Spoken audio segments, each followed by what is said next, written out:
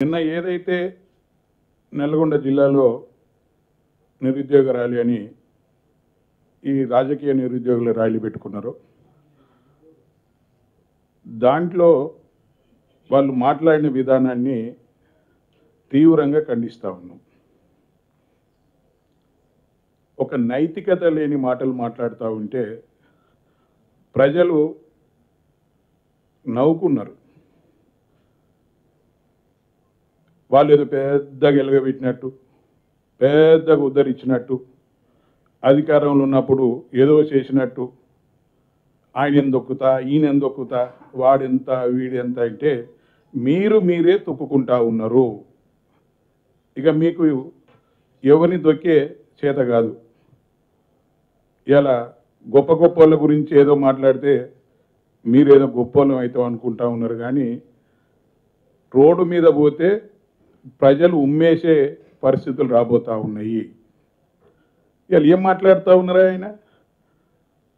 ఆరు అడుగుల ఆజానుభావులు ఏం చేశారు నల్గొండకు? ఆరు అడుగుల ఆరు ఎకరాలకు నీళ్ళు తెచ్చిర్రా?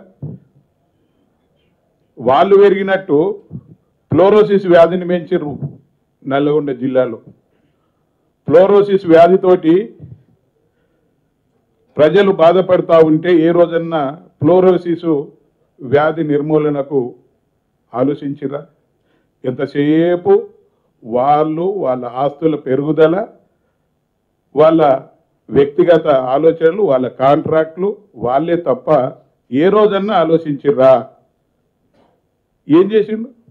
ఒక ఆయన మంత్రి పెట్టిండు ఇంకొక ఆయన మంత్రి పెట్టిండు ఇంకొక ఆయన మంత్రి ముగ్గురు మంత్రులు వెలగబెట్టారు ముగ్గురు మంత్రులు వెలగబెడితే నల్లగొండ జిల్లాకు ఏం చేసిర్రు అనేది ఒక్కటి చెప్పాలి. వాళ్ళు చేసింది ఏంది? ఒక్కటి ఒక్కటి మాత్రం చేశారు ఫ్లోరోసిస్ వ్యాధిని మాత్రం వాళ్ళకన్నా ఎత్తుకు పెంచారు కనీసం ఒక ఎకరాకు నీళ్ళు ఇచ్చిర్రా ఒక గ్రామానికి మంచినీళ్ళు ఇచ్చిర్రా మీరు పాలన చేస్తున్న సందర్భంలో మా మహిళలు మా అక్క చెల్లెళ్ళు రోడ్డు మీదకి బిందెలు ఎత్తుకొని పోయి ఆడ ఎక్కడో కిలోమీటర్ల దూరం నడిచి అవస్థల పాలయ్యారు ఇవాళ కేసీఆర్ ప్రభుత్వం వచ్చిన తర్వాత మా ఆడబిడ్డల గౌరవం కాపాడుకోవడం కొరకు ఇవాళ మిషన్ భగీరథ రూపకంలో ఇవాళ చౌటుప్పల్లో ఒక పైలాన్ని నిర్మాణం చేసుకొని అదేవిధంగా ఆ ప్రాంతంలో ఫ్లోరిస్ నిర్ నిర్మూలనకు ఒక సాగునీళ్ళు కావాలి తాగునీళ్ళు కావాలని తాగునీళ్ళకు మిషన్ భగీరథ ద్వారా అదేవిధంగా సాగునీళ్ళ కొరకు రెండు ప్రాజెక్టుల నిర్మాణం రెండు రెండు రెండు వేల కోట్లతోటి మొదలు పెట్టుకున్నాం.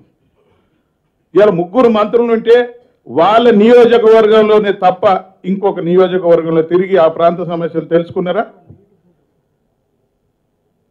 ఇవాళ ఉత్తమ్ కుమార్ రెడ్డి ఇంకో నియోజకవర్గంలో తిరిగిందా అసలు రానిచ్చిర్రా వాళ్ళకు వాళ్ళు? ఇంకొక ఈయన ఆ- ఆ నియోజకవర్గం రాని ఆయన ఈ నియోజకవర్గం రానియలేదు. ఇవాళ ఇదే కోమటిరెడ్డి వెంకరెడ్డి చాలా చాలా మాట్లాడుతుండు.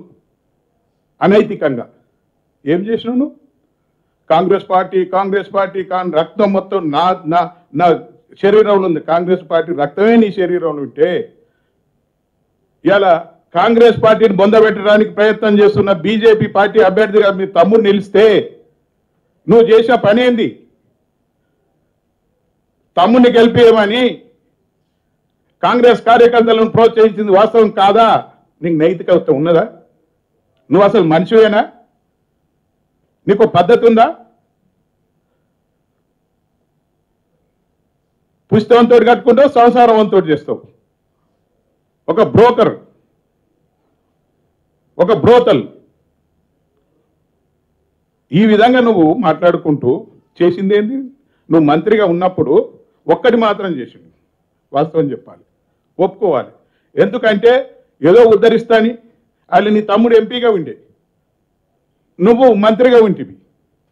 దండుమల్కాపురాన్ని ఒక డంప్ యార్డ్గా మార్చడానికి నువ్వు రామ్కి తోటి ఉమ్మక్కై అప్పుడున్న ముఖ్యమంత్రి తోటి అక్కడ ఏడు వందల ఎకరాలను డంప్ యార్డ్గా మార్చడానికి ప్రయత్నం చేసి జీవో ఇప్పించింది వాస్తవం కాదా? దాంతో ఏమైతే డంప్ యార్డ్ ఇప్పిస్తే అభివృద్ధి? కంపు యార్డ్గా తయారు చేయడానికి ప్రయత్నం చేసినాం. నేను ఆ రోజు ఉద్యమ కాలంలో ఉన్నప్పుడే దాన్ని వ్యతిరేకించి తెలంగాణ ప్రభుత్వం వస్తుంది తెలంగాణ వస్తుంది తెలంగాణ ప్రభుత్వం వస్తుంది ప్రభుత్వం వచ్చిన తర్వాత నేను రద్దు చేయిస్తాను ఆ ప్రజలకు ఊరట ఇచ్చినాను ప్రభుత్వం రాగానే ఆ డంప్ యార్డ్ను రద్దు చేయించి అక్కడ గ్రీన్ ఇండస్ట్రియల్ పార్క్ ఐదు వందల ఎకరాలలో గ్రీన్ ఇండస్ట్రియల్ పార్కును ఏర్పాటు చేయించి సుమారుగా ఇరవై వేల మందికి ఉద్యోగాశాలు కల్పించడంలో ముందుకెళ్ళినాం. ఉద్యోగ అవకాశాలు అవి కావా? ఏం చేసినావు నువ్వు నువ్వు అధికారంలో ఉన్నప్పుడు. ఇవాళ ఏమైంది అంటే ఎడు దోస్తలేదు వాళ్ళకు ఏం మాట్లాడాలో అర్థమవుతలేదు ఏదో మాట్లాడితే పేపర్లలోనో టీవీలలోనో చూపిస్తారు. అని ఉనికి కొరకు చేసే ప్రయత్నాలు ఇవి. నేనా గొప్ప నేనా గొప్ప నేనా గొప్ప. ఆడ కూర్చున్న వాళ్ళంతా ముఖ్యమంత్రులే. కానీ ఒక్కరు రేపు ప్రజలలో గెలవరు. వాళ్ళ కాళ్ళే కత్తులు తీసుకొని సిద్ధంగా ఉన్నారు. ఇలా వాళ్ళు చేసే పని చాలా బాధాకరం అనిపిస్తుంది. మేము కూడా తిట్టగలం లుచ్చ అనగలం బడ్డు అనగలం పిచ్చి కుక్కలు అనగలం పండబెట్టి తొక్త అనగలం. కానీ మాకు కొంత విజ్ఞత ఉంది. మేము మాట్లాడలేము అట్లా.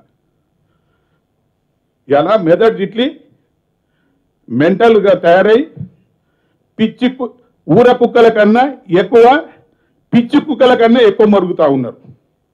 మీ మరుగుడు విధానాన్ని ప్రజలు గమనిస్తూ ఉన్నారు. ఏదో బూడిదల కుక్కం అనుకొని కలలు గంటదట పగడి కనులు ఆడ ఉట్టి ఉంది ఉట్టి మీద నెయ్యి ఉంది దర్వాజా తెరిచింది పోయి నెయ్యి తిందామని చూస్తూ ఉంటుందట. కానీ అది లేచి బూడిద దులుపుకునేసరికి కళ మర్చిపోతుంది ఎన్నో మస్తు దర్వాజాలు తెరిచి ఉంటాయి. ఏదో దర్వాజాలు కొడితే ఏమైంది కుక్కని కొట్టినట్టు కొడుతుంది అటు కుక్కని ఎట్ట కొట్టిరు? వీళ్ళని కూడా గదే పగటి కళలు అంటా ఉన్నారు. మీ పగటి కళలు నిజం కావు. పగటి కళలు పగటి కళలుగానే మిగిలిపోతాయి. ఆ కుక్క బతికే మీ బతుకైతుంది. జాగ్రత్తగా ఉండండి జాగ్రత్తగా మాట్లాడండి. ఒక రాజకీయ నాయకుడిగా ఒక పరిపక్వత ఉన్న వ్యక్తిగా మాట్లాడడం నేర్చుకోండి. మాట్లాడడం అంటే ఎవరైనా మాట్లాడతారు. మా ఊళ్ళో పిచ్చిపు మా ఊళ్ళో పిచ్చిపులే ఉన్నాడు. మీకన్నా ఎక్కువ మాట్లాడతాడు. చాలా మాట్లాడతాడు. పనవేరు తొక్త కాదు మెడల్ ఇస్తా కొడుక అని చెప్తాడు. నాలుక వస్తే చెప్తా అంటాడు. మరి ఆయన మాట్లాడలేడా?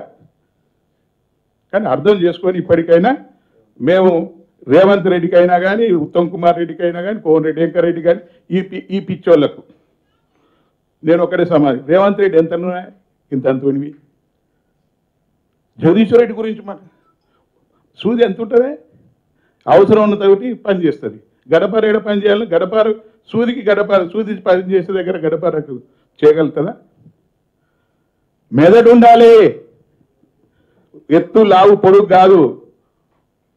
ఒక నిర్ణయం కావాలి. జగదీశ్వర్ రెడ్డి అనేవాడు ఈ రోజు నుంచి కాదు విద్యార్థి దశ నుంచే ఉద్యమ నాయకుడు. ఏం మాట్లాడతారు? ఇక్కడ నాట గెలిచినట సన్యాసులట. నువ్వు బుద్ధిగల్లోనివి బుద్ధిగల్ల బురుకవు. ఏముండేనా మీకు? పోదాంప నువ్వు పుట్టినప్పుడు ఏమండి నీ అయ్య ఆస్తి ఎంత ఎవరి ఆస్తి ఎంత? చూద్దాంప. తెలుసుకుందాం. ఏ ఊర్లో పుట్టినావో ఆ ఊరికి పోతే తెలుస్తుంది. పెద్ద నిజాయితీ మంత్రులు సత్యహరిచంద్రులు మా అంత సత్యహరిచంద్రులు ఇవ్వలేడు ఎడికెళ్ళి వచ్చినాయి మీకు? జానారెడ్డి ఎంతో తెలియదా కోమరెడ్డి వెంకరెడ్డి ఎంతో తెలియదా ఉత్తమ్ కుమార్ రెడ్డి తెలియదా ఏమన్నా వేల ఎకరాలతో వచ్చారా మీరు? అప్పుడున్న ముఖ్యమంత్రులకు బూట్లు దుడిచి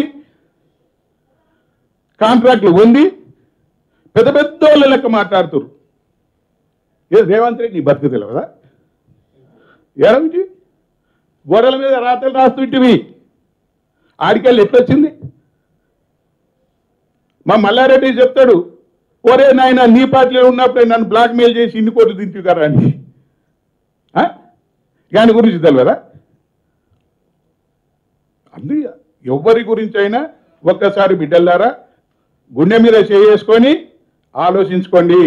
ఎవరేందో ఎవరు బతుకులేందో అర్థమవుతాయి సన్యాసులా లేకపోతే సౌటలా?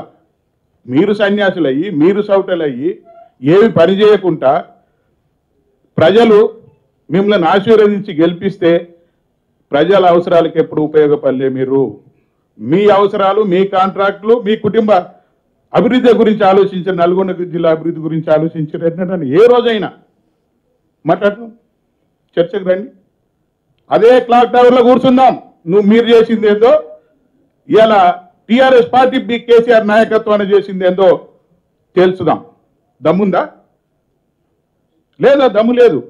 ఎంతసేపు మైకులు మాట్లాడాలి ఏదో మాట్లాడాలి వాళ్ళు తిట్టాలి వీని తిట్టాలి. పద్ధతి కాదు. పద్ధతి మార్చుకోండి.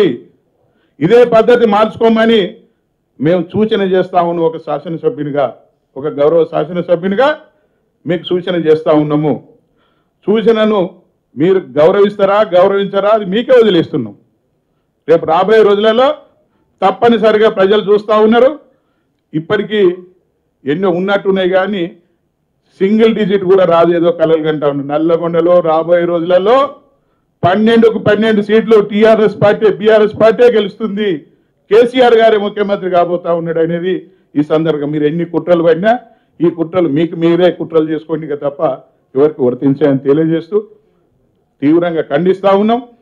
దీన్ని బేషరతుగా క్షమాపణ చెప్పాలి.